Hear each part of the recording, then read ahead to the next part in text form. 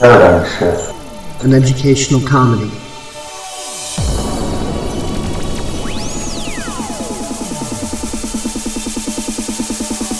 It's not a cause, not a movement.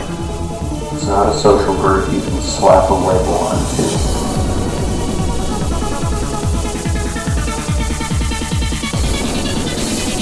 It's an idea.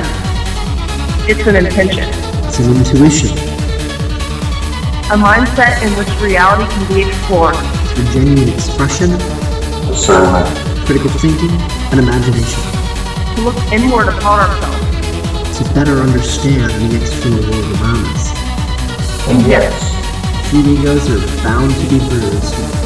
With our silly, zany, politically incorrect, George Carlin Gilbert style of going about things. real and raw honesty. which invites you to be you to the fullest.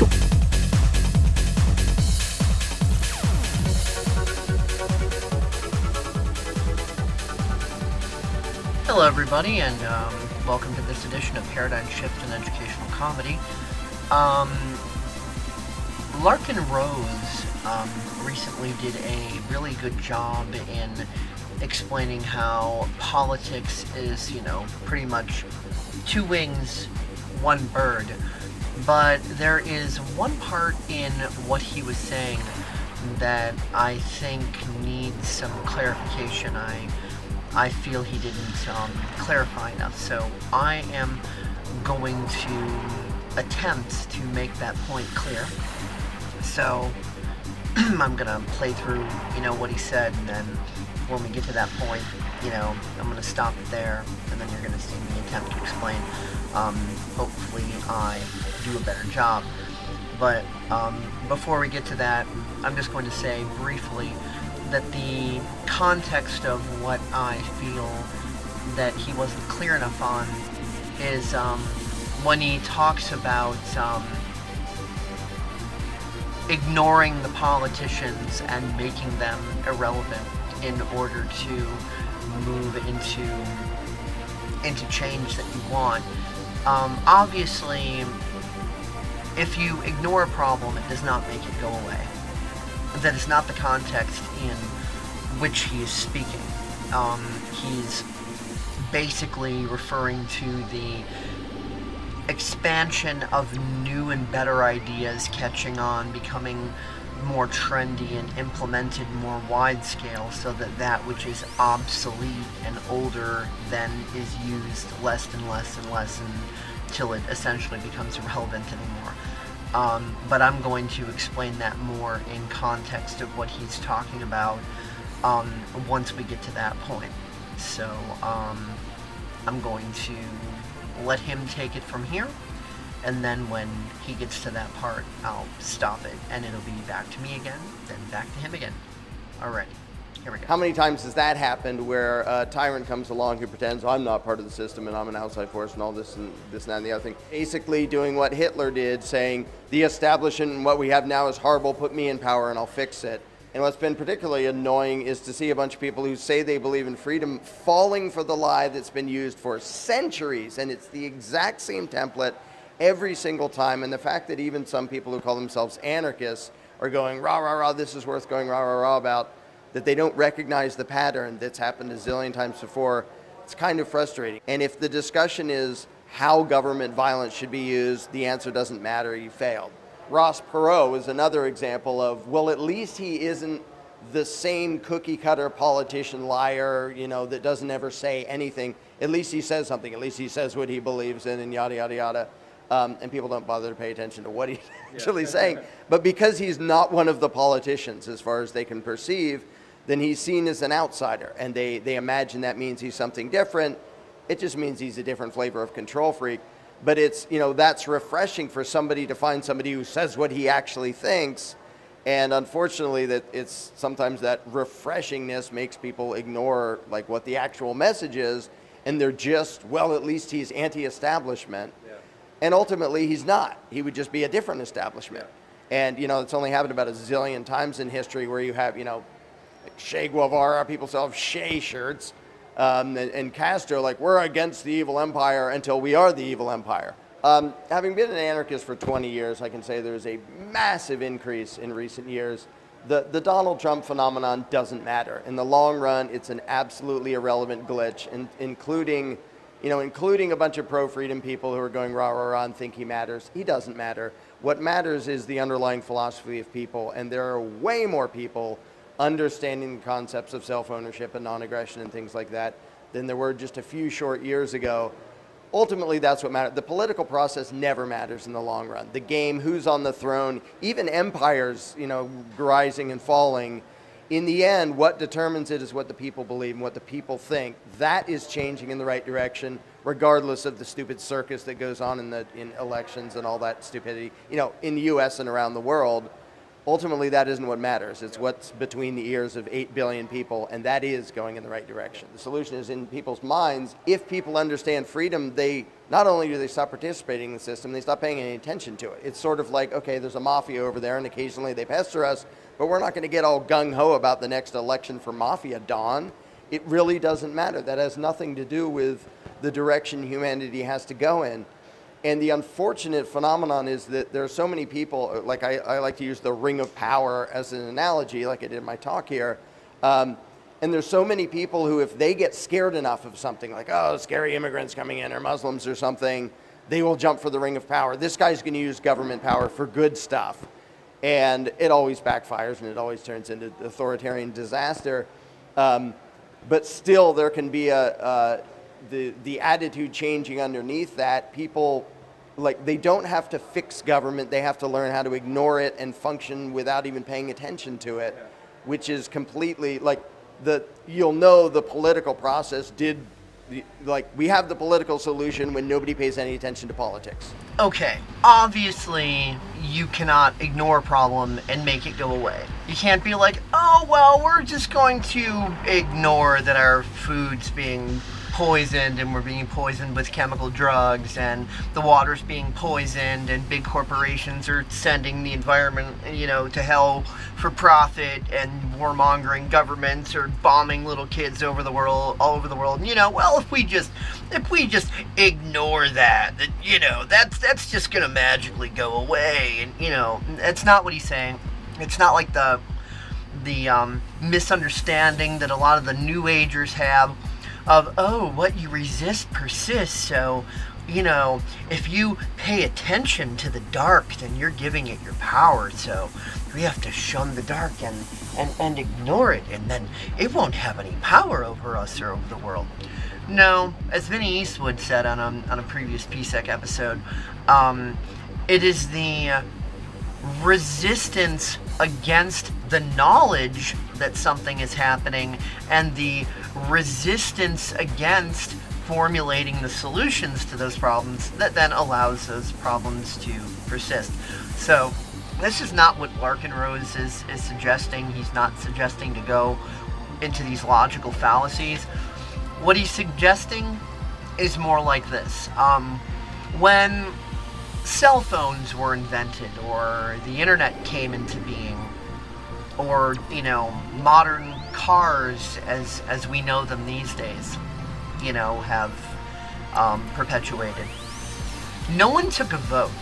No one said okay we have this idea and we're going to vote a politician into office and we're going to go through these political processes and you know if we don't get the votes well then um, I guess we're just gonna stay with the Model T. You know, no, uh, better cars were voted down. We're just gonna stay with the Model T forever. Oh, we're just not going to invent cell phones because you know we didn't get enough votes at the polls, so we may as well just forget the whole idea. Or no, sorry, we're we're not going to invent the internet because you know this is 1975 when we're casting this vote, and you know people think the idea of of thoughts and images and, and, and video and multimedia and music being transferred over this this magical grid of science fiction is just ludicrous garbage. So yeah, no, we're just we're not gonna we're not gonna create that. It it was voted down. So hey, you know what can we do?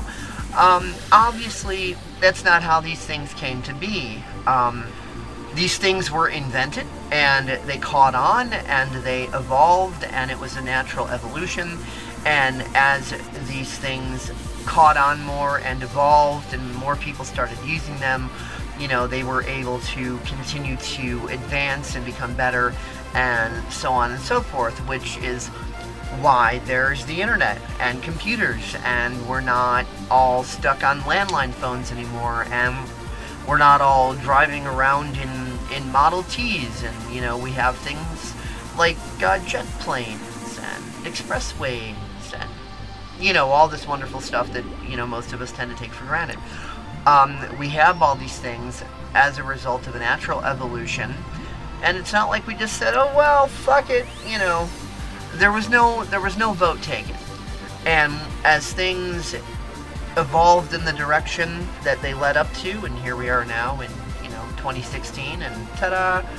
Um, the stuff that became more and more obsolete, um, it wasn't being paid attention to, as Larken Rose said. Um, it just kept being used less and less and less and less, and basically ended up being ignored out of existence, um, just like Larken Rose was talking about. So, as more and more people start catching on to the idea that politics is just, you know, two wings of one bird. It's a left right paradigm scam. It's WWE wrestling, Stone Cold versus The Rock, and Vince McMahon wins no matter what because he owns the corporation. Um, you know, the more people realizes realizes the scam, the game, the bullshit, and people start taking personal responsibility and thinking for themselves and using their own imagination and creativity and taking more personal responsibility instead of thinking that they're just so entitled and that the world owes them everything and that you know we have to elect babysitters that we can whine to and we can cry to and demand things of you know. The more we move out of that mentality and move into the mentality of hey i have this idea and instead of having low self-esteem because I'm thinking poor little me I'm I'm just me I'm I'm nobody you know what what could I do you know who am I that you know we give our ideas a reasonable shot and put them out there and and allow for the for our time and our pace because things don't happen overnight people are so impatient. They're thinking, oh, if I can't make something happen, boom, like that. Well, I'm not capable of it. I planted the tree seed today. I don't have the 40 foot tree tomorrow, so fuck it. You know, I'm just not capable. I may as well just call it quits.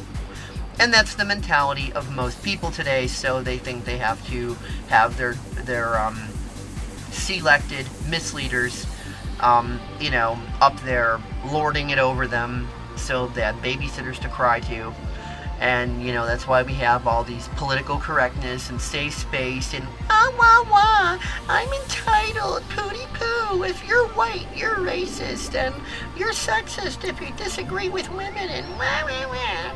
You know, that's why we have all that attitude. And the more people who move out of that attitude and become more empowered and realize that we're not all little helpless nobodies, and that if we could actually learn to apply ourselves and cooperate with each other instead of bickering and bitching and pissing and moaning, and hey, most people think 9 11 was an inside job, so do we get together and unite and investigate? No, we're bickering over, well, was it a death ray, or fake planes, or a big ginormous penis that slammed into the World Trade Center and fucking raped it into the ground, or aliens, or oh, what was it? Well, it's like everybody is arguing over the semantics instead of getting together and, you know, getting real investigation going. So, as soon as enough of us exit that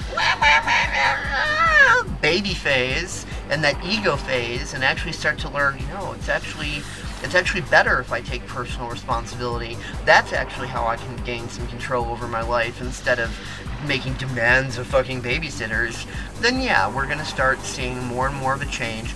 Just like as more and more people stopped using Model Ts and old technologies and slowly started embracing the newer technologies that eventually, fast forward to 2015, here we are, and obviously civilization doesn't look like 1935 anymore, because that was then and this is now, and there's a process of evolution over time.